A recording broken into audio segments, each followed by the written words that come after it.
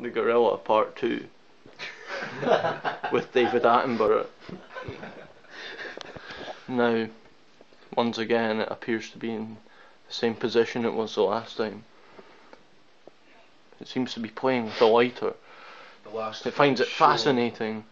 Gorilla It's moved its head. planning an attack, perhaps, with using a lighter.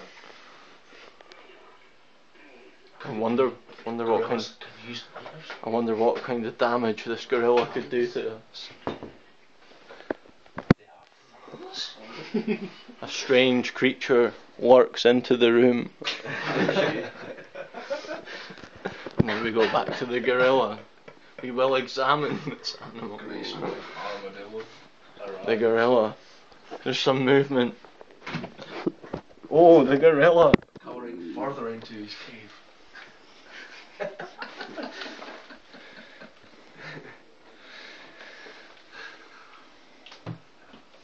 Now we're, we're within touching distance of this gorilla.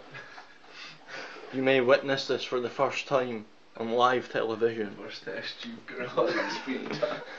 That No. much is brighter. Something appears to enter the room. It has a head like a mallet. Get that critter. I think it's a Once good again. torch, mate. He's being very jump. The gorilla seems to be hiding. Back into his cave he goes.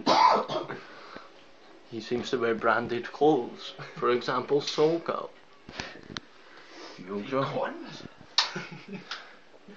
He has a fantastic sense of fashion.